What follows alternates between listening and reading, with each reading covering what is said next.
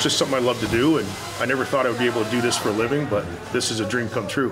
Jim Nelson's dream is teaching auto mechanics to students at Andrada Polytechnic. He oversees a three-year JTED program in the Vail District.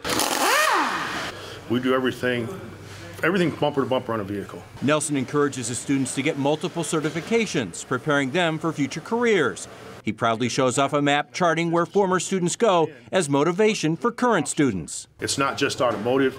Um, you can go to college, you can go to, um, I have a couple kids that work at Tesla up in Scottsdale.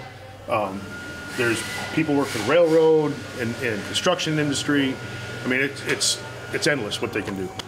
Logo. Nelson sees his role as more than just an automotive instructor. I'm not pushing to make all these kids mechanics. I'm pushing to make these kids better people for society.